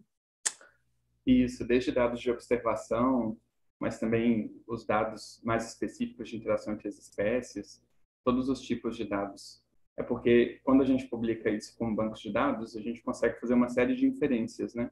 Uhum. E nos padrões que eu trabalho, a gente consegue fazer com que diferentes aplicativos se comuniquem para importar esses dados. Então, é, acaba que a minha pesquisa está extremamente generalista, né? Porque é uma tentativa de cobrir essas diferentes dimensões dos dados que são produzidos nas pesquisas em relação a interações ecológicas. É, eu não, eu, eu não sei como te responder essa pergunta. Talvez você possa me ajudar a eu pensar de um jeito que eu, que eu entre os dados de uma forma que possa ser usado melhor para as outras pessoas. Mas eu não sei. A gente tem nossa, nosso banco de dados, né, pessoal, e eu, esses dados eles são compartilhados quando a gente publica, né? É, a gente, a gente geralmente publica no Dryad ou, ou como suplemento, mas é, não tem um site onde eu tenho esses dados disponíveis, é nada do tipo, então talvez talvez a gente podia conversar. Eu acho que seria, seria muito legal se você tiver interesse. Depois eu vou dar uma olhadinha no, no seu banco de dados lá no Dryad. É, ele, ou então eu posso te passar um e-mail, você me envia também o um link? Sim, por favor. É. O meu grupo de pesquisa tem trabalhado bem com isso agora, né? Com esse foco em interações. Então, talvez surja daí uma possibilidade de parceria também. Assim, Sim, não. Cantando, eu estou buscando um escopo para o meu doutorado ainda, então. não, ótimo, é. Me manda um e-mail, então. É, daí. daí a gente conversa. Tá joia. Muito obrigado, professora Maia. Obrigada. É, Ana Luísa e depois o, o Tiago para fechar. É, se a Maia mais cinco minutinhos. Uhum. Oi, Maia, boa tarde. Obrigada pela sua palestra muito enriquecedor, né? Ver o quanto a ciência vai descobrindo coisas que a gente não tem nem noção, né? E quanto esse mundo tem tantas interações, né? Muito legal saber do seu trabalho. E aí, como a gente não está podendo fazer muitos campos, eu estou pesquisando bastante sobre meta-análise, talvez a minha linha de pesquisa vai nessa área minha área é com abelhas, né, interações com as abelhas, e aí eu fiquei curiosa em entender, assim, eles são animais recorrentes, né, como você, como você conseguiu tantos dados para fazer essa meta-análise, né, se eles, se você, se é um, se é animais utilizados sempre, eu fiquei um pouco nessa dúvida, não sei se você entendeu. Sim, é, é... então, meta-análise é, eu, eu gosto muito de usar meta-análise, para falar a verdade.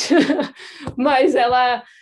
E essa, tipo, eu, inclusive, estou colaborando, colaborando com uma aluna que a gente está trabalhando uma meta-análise com abelhas, é, que a gente está tentando ver como que a pista de, de ter outros indivíduos na planta da mesma espécie pode influenciar o forrageio né, das abelhas.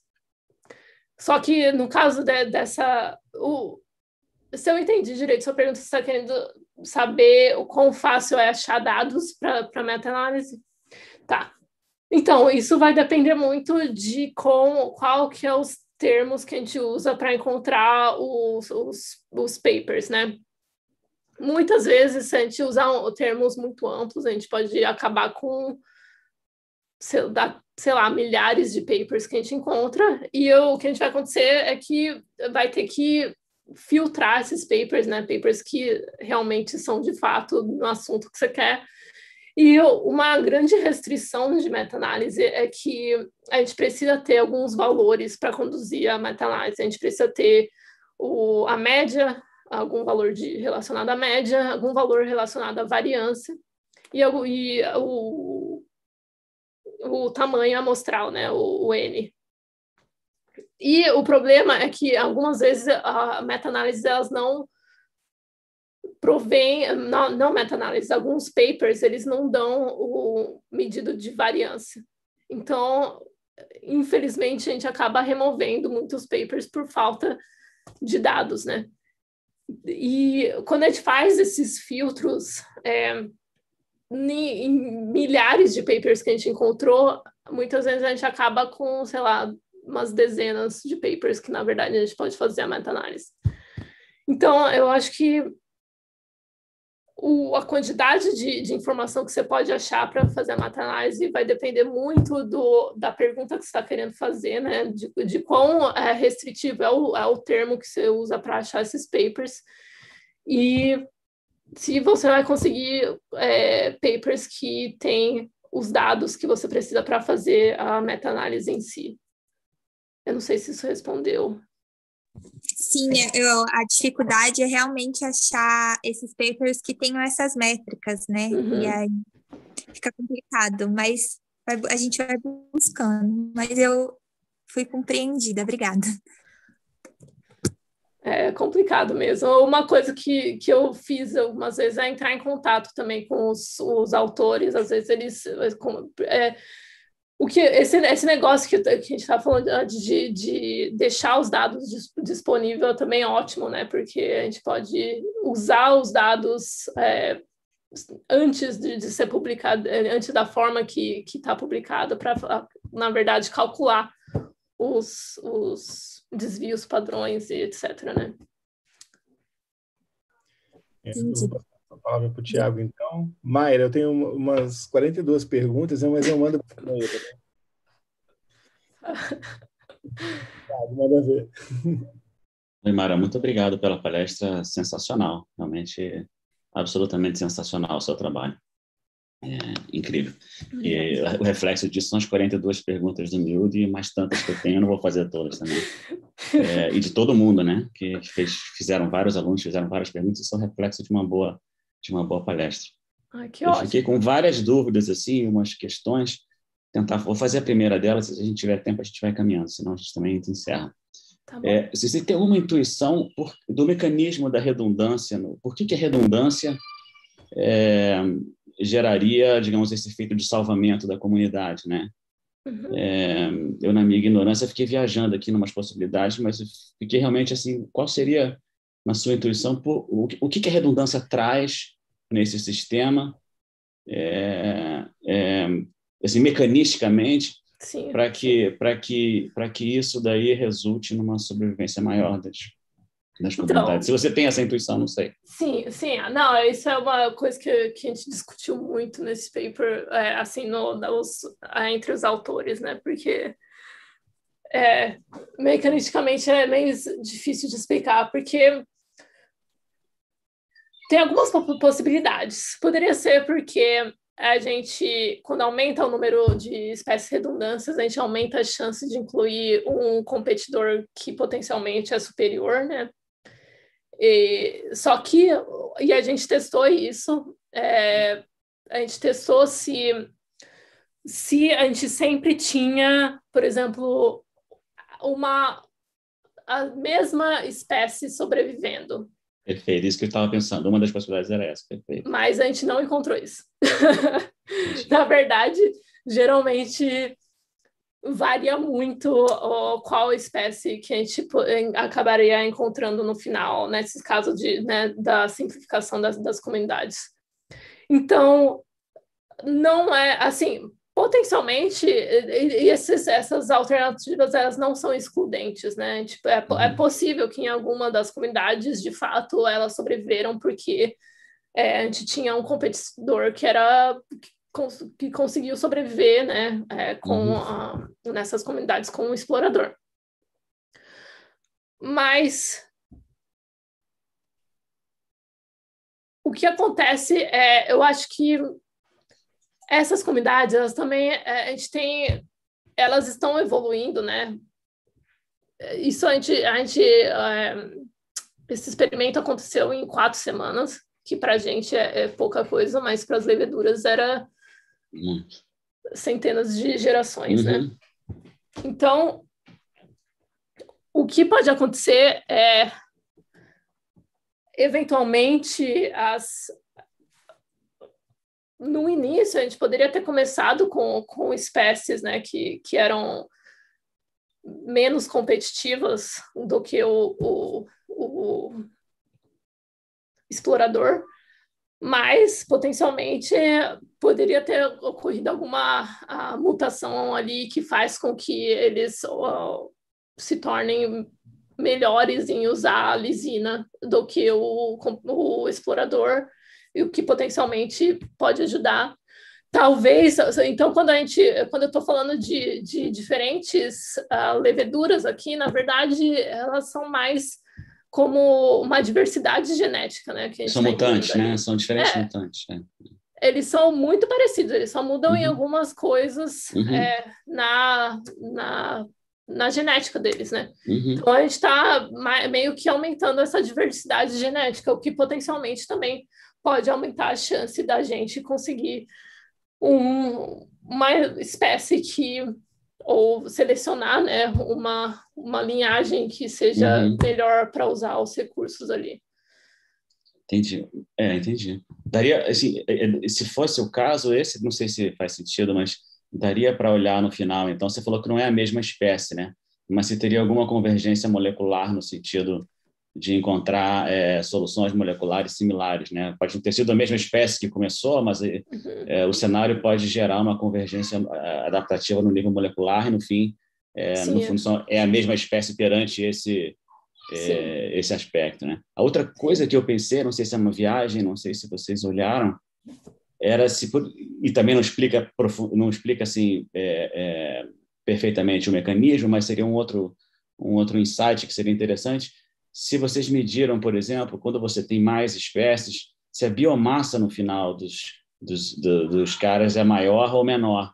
Eu fiquei pensando se por alguma razão, se você tem mais espécies, por um mecanismo, por isso que eu falei que nós não explica profundamente mecanicamente, mas se por alguma razão, se você tem mais espécies, o resultado final é que você tem uma biomassa maior de mutualistas do que se você tem menos espécies. E aí não é tanto a redundância em si é, é, é, é, é um gatilho para alguma coisa que gera é, uma diferença de biomassa no final, né? Que as espécies talvez para as espécies é relevante o, o, o nome científico da, enfim, uhum, uhum. se elas são redundâncias, afinal de contas elas estão provendo o mesmo. Sim, sim, não, a gente, a gente, eu medi o eu, porque a gente tinha essa ideia mesmo de que talvez com maior riqueza a gente também teria maior produtividade, né? Que seria essa, essa biomassa uhum. final.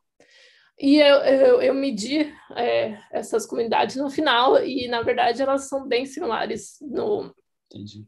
Isso é porque possivelmente... A biomassa, a biomassa da comunidade inteira ou a biomassa Sim. de cada tipo de. É, eu estava então, pensando mais na biomassa de cada, de cada participante, né? Do então, vermelho, do azul claro sim. e do azul escuro. A gente está meio limitado em, na, em, conseguir fazer isso, porque. Ai, eu não sei se eu tenho. Acho que eu tenho uma foto, sim. A gente cresce eles. Tá vendo essa, essa foto uhum. aqui, que tá bem pequena? Sim. Posso até aumentar. É, é tá vendo essa, essas uh, que são mais branquinhas? Sim. Então, essas são as comunidades de levedura crescendo juntas. Uhum. E esse, nesse caso eu tinha uma comunidade que tinha quatro espécies de cada tipo, com o explorador de lisina. E essas outras ah, que estão é, transparentes são ah, comunidades não tem mais levedura, né? São as que ou morreram ou que eram ah, controles ali né, nesse prato. E o problema desse sistema, que a gente está tentando descobrir como lidar com isso, é que a gente não, a gente consegue medir o, o OD, né, que é o, a densidade dessa comunidade, só que essa medida de densidade, ela inclui todo mundo que está nessa comunidade. A gente não tem um jeito de separar, né? Porque eles estão tudo meio que misturados. Tá, entendi. Eu fiquei, líquido. agora, assim, parte da, do resto da minha viagem, que eu não sei se é real, até porque isso é muito longe, tudo isso é muito longe da minha, da minha área de pesquisa, mas eu fiquei viajando se não daria para usar uma espécie de environmental DNA e ver o quanto que é, tendo marcadores diferentes é, que, que identificam as diferentes espé espécies e no final, digamos, a mostrar a abundância a partir de, da, da expressão gênica. É, e aí você separa com RNA, sei lá, como eu não sei. Aí os ah, detalhes eu não sei. Nossa, Mas eu nunca seria... PCR, eu pensei. É, o PCR, é, o PCR, alguma, mas tem que ser alguma coisa que um mede a abundância. RT, né? Que é, É, real time, que daí ele mede é. o quanto tem de cópia. É isso, porque aí se você tem um marcador que é, assim, é o nome da espécie, pá, molecular para o azul, um marcador para o azul, pro azul claro e um marcador para o vermelho, é, e, e isso é uma medida de abundância, chega no final, se você faz um screening disso daí, você tem uma medida de abundância separando por esses marca- marcadores. Ah, interessante, porque eu é, não, não pensei sobre isso. Porque- é porque, assim, ideia. Porque é, o, eu acho, eu acho se, se a redundância se manifesta de alguma forma na abundância dos, dos players, é, é, é, eu acho que, de outra forma, a abundância total eu acho que vai ser a mesma. Né? Eles vão usar o, o, o da comunidade inteira, talvez seja a mesma, que é o que você encontra. Uhum. Agora, o que é interessante é medir a abundância relativa de cada um dos players. Né? Não, e e aí, daí talvez. É. dá para você estimar o fitness de cada um dessas Sim, isso, isso, especificamente. Isso, isso, isso. E aí, Não, e aí sim. é, por isso É. que eu achei que talvez nessa, nessa viagem daria para sample assim um pouco, usar, usar o environmental DNA para Ah, interessante. É, porque o, o que a gente tinha. O, o- além de ter, né, essa. A gente basicamente a gente coloca eles em, em, ah, placas de Petri, né, que são seletivas. Então, é, na verdade, esse é o motivo que a gente tem diferentes marcadores genéticos, que a gente pode selecionar eles em, em diferentes Uhum. placas de Petri. E ela- essas placas de Petri, elas podem dar uma ideia da abundância das comunidades, porque ela tem, ela- eu não tenho uma foto aqui, mas quando elas estão crescendo muito forte na comunidade, você vai ter umas uma crescimento na placa de Petri que é bem forte assim, enquanto que elas estão em menor abundância, elas vão ter um, um- só algumas co- colônias crescendo, Uhum. né? Então a gente tem meio que tem essa essa medida. essa medida de, de, de abundância meio que é meio que qualitativa, né? Mas seria bom ter uma medida mais quantitativa e a gente Eu tentou a gente tentou, nossa, eu tentei algumas coisas que não deram muito certo. eu tentei colocar um, um filtro entre as duas para que o líquido passasse, mas as células não, então eu conseguiria medir cada lado, mas não deu certo. Eu acho que Mas- o DNA vai ser melhor no final, uma, uma sampling do DNA, talvez seja. sei. Sim. Não, vou, vou, dar uma olhada nisso, não tinha pensado nisso. Obrigada. Imagina. Eu tenho mais um milhão de perguntas, mas eu não sei se o tempo permite, não. Acho que acho que não. Um pouquinho, né, Thiago? Eu, eu- eu também. Eu, eu, é, é tipo de palestra que dá. é, esse sentimento aquele doce no final das palestras que você É. queria continuar por mais 42 horas é. É, esse é o problema da pandemia, né? Se não fosse a pandemia, mas é, a gente É, saía para almoçar. Mas, por outro lado, a Mayra não ia estar aqui, porque ela está lá nos Estados Unidos. Então, Tá. é É um difícil. balanço. Por sinal, essa história de que a abundância é a mesma no final é bastante curiosa, viu? Porque É, mas essa é assim, essa é assim. Se você pensar que cada indivíduo desses, desses bichos, para mim tudo é bicho, desses bichos são mais ou menos equivalentes, talvez assim, tenha uma capacidade de suporte para aquele negócio ali e você tem Sim, X bichos, sim. né? Então, que a, capa, que a abundância total seja é, é, é, equivalente não me surpreende tanto. Uhum. Eu acho que para separar o efeito seria a abundância relativa. me surpreende eu só esperaria uma abundância equivalente, uma biomassa equivalente, se eles fossem igualmente eficientes. Então, assim, conta aí uma coisa importante que você mencionou aí, Tiago, equivalência. É. E isso ajuda a, a, a, a- é, me bota uma pulga na, atrás da orelha de que, por exemplo, explicações simples de, por exemplo, interações competi- competitivas diretas talvez não sejam suficientes, porque uma, uma característica de experimentos de biomassa, com, pelo menos com plantas, quando você tem competição, é que a eficiência da comunidade final é, é- é- a biomassa é maior, porque a eficiência é uma medida de quão bom competidora você é, né? Mas eu estou roubando já, já estou já tô... É, porque a biomassa do indivíduo tem a biomassa da população total, né? Porque você pode pegar uma população, um- uma espécie, tem cada indivíduo gasta menos, né? Mas ele eu- individualmente é melhor competidor do que o outro, porque ele gasta menos do que o indivíduo do lado dele. Mas é- eu- eu, eu media a evolução da eficiência, mas em outro, um outro, outro estudo. E uma coisa que é muito interessante, que por muito tempo não fez menor sentido para mim, é que, na verdade, eles evoluem, alguns deles evoluem para ser menos eficiente. e o, a gente está descobrindo agora que potencialmente isso acontece porque tem um, um trade-off entre ser eficiente e ser resistente a esse período de, de, de fome, né? Uhum. E, isso, de novo, bate com a ideia de que numa, numa comunidade livre de competidores ou inimigos naturais ou de qualquer incerteza, a, a biomassa total seria é, maximizada com o tempo, porque você... É, o, aquele, é um experimento clássico com Kelps, né? Sim. O herbívoros explode a biomassa e total e, só, e a, e, a, diversidade cai, né? Porque só sobra aquela que consegue transformar mais eficiente uhum. isso em biomassa, né? Não importa se em número de indivíduos ou em biomassa total. Então, quando você mede na comunidade, funciona, né? Pra, né? nesse sentido, porque não, você está vendo eficiência total. Mas eu estou roubando, desculpa, gente. 16. Mayra, muito obrigado. É, poxa, foi um prazer. Assim, é, é, muito legal. É a segunda palestra que eu assisto sua e a gente sempre aprende bastante. Eu tenho certeza que você vai receber uma, alguns e-mails, eu imagino, nos próximos dias. Mas. Puxa... Só, posso só fazer uma última pergunta para ela levar também? É... Não precisa responder, não. É, é, naquele, no experimento da Web, na, da, é eu me lembro mais da. da Webworm. É, Webworm. Uhum. É, quando você mede preferência ou, uso, é, é, o, é, quer dizer, é o bicho que está te dizendo, né? Assim, quantas Sim. vezes você encontra o bicho Sim. naquela planta? Sim. Seria interessante e relevante, não sei, olhar a disponibilidade de recurso. É, eu, eu, fiz pra, isso. Pra, ah, beleza. É, não, a abundância da planta hospedeira influencia qual é a planta hospedeira eles usam mais frequentemente, mas isso varia também de qual espécie que a gente considera. Ok. É, aproveitando, então já vou, porque o Thiago já fez é que... umas perguntas que eu ia fazer. Vai lá, vai lá, vai lá. Mas eu vou fazer um comentário em cima dessa sobre a 39, que pelo menos não é primo.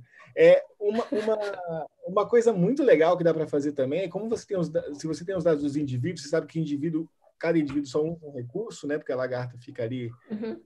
envolvendo.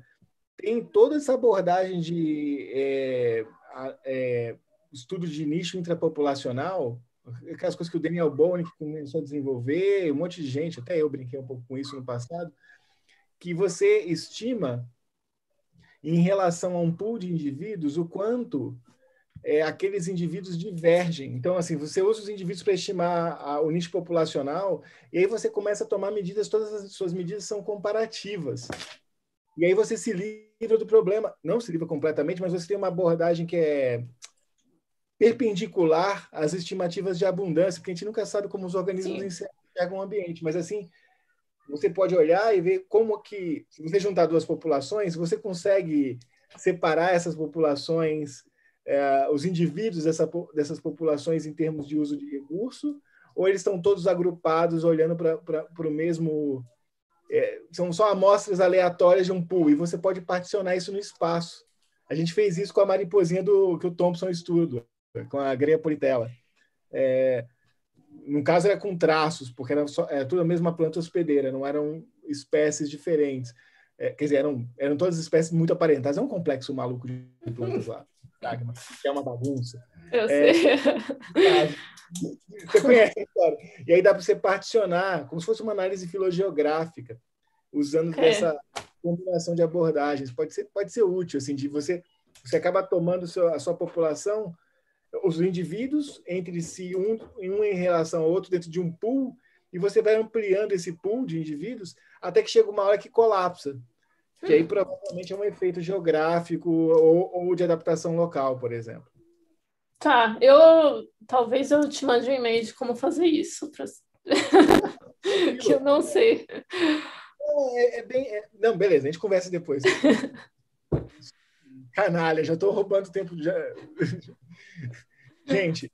Vai ser a diversão que a gente tem nessa pandemia, meu. Porra, cara aqui dentro de casa, essa é a chance, é um suspiro, assim, no meio de uma semana de porra. Vou sair para outra aula, para outra, outra atividade. Deixa eu agradecer a palestra aqui. O Rodrigo não manda a gente calar a boca e fica eu e você, que nem dois alucinados, é. não deixando as pessoas irem embora. É. Tem um monte de aluno querendo dormir já, porque não por causa da palestra, por minha causa, que eu estou falando para parar. então, assim, está na hora da gente, da gente acabar isso, porque ainda é, vai ficar gravado no YouTube, YouTube essa, essa coisa. Mas falando essa sério, né? É, muito obrigado, Mayra. E, pessoal, escrevam para a Mayra, ela é super vocês viram, ela aguentou a gente aqui rindo, então, assim, prestativa, e ela gosta de falar do trabalho dela, que essa última parte, esse brilho que ela tem quando ela fala do trabalho dela, para mim é, é, a característica mais fundamental de uma pesquisadora ou de um pesquisador, e isso tornou ainda mais agradável essa tarde. Muito obrigado, viu, Maia? Obrigado. Ah, muito obrigada, foi ótimo conversar sobre tudo isso. Foi muito divertido, de verdade. Valeu. Muito obrigado, Mário. Até mais. Tchau, tchau. Tchau, tchau, gente. Semana que vem temos outra palestra, viu, pessoal? Eu mando todas as informações bonitinhas, tá bom? Só lembrando, é, o link é o mesmo, né? Mas a gente, a gente tenta mandar o. Vou mandar o link novo. de novo, mas é o mesmo. É, mas é o mesmo. Se qualquer coisa, se falhar aqui. Do verbo eu esqueci de mandar o link, é o mesmo. É, é, se, eu, é, se a gente falhar, já sabe. tchau, tchau, gente. Obrigado. Obrigada.